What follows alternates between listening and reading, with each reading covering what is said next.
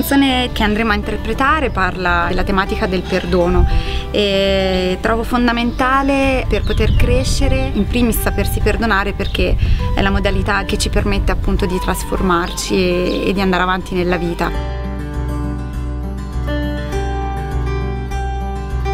Giusto il tempo di perdonarti è un progetto che ho voluto realizzare eh, partendo da questo brano che fa parte dell'album di Selene L'ora dei fantasmi. In effetti grazie anche a Simona Mondello, la regista, poi mi è venuta l'intuizione di accostare alla, alle immagini il tema del perdono, inteso come una forza trasformatrice. La frase poi che mi ha colpito di più e che mi ha ispirato questo tema è stata una, appunto una frase di un filosofo contemporaneo che è Antonio Mercurio, che dice che il perdono è una, una spirale infinita.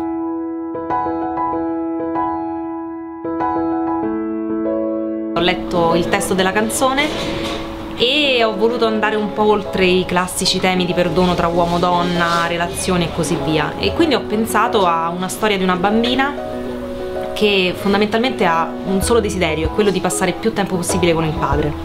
Sono un po' tornata indietro anche alla mia infanzia e quindi eh, mi sono sentita di rappresentare questa storia di, di, un perdono che poi è l'aspirazione massima che ha una bambina nei confronti de, di un padre che, che bene o male è assente magari per lavoro, che però le vuole bene, fondamentalmente c'è.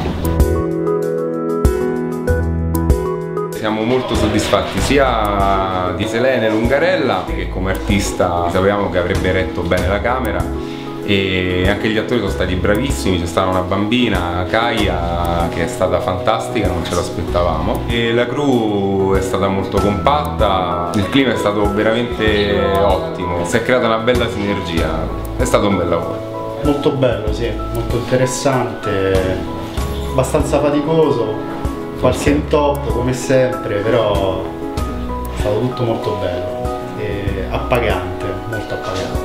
4-3 prima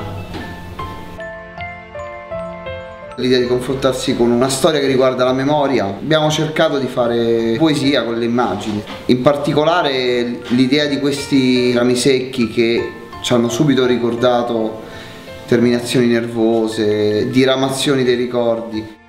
Penso che mi ha insegnato un qualcosa questo, questa mini clip che ho fatto, che alle persone alle quali volete bene ditegli tutto quando ci stanno. Sono esausta, sono distrutta, ma sono la persona più felice di questo mondo. Un bacio. Anzi, a tutti quanti, a tutti quanti, insomma, io ringrazio tutti.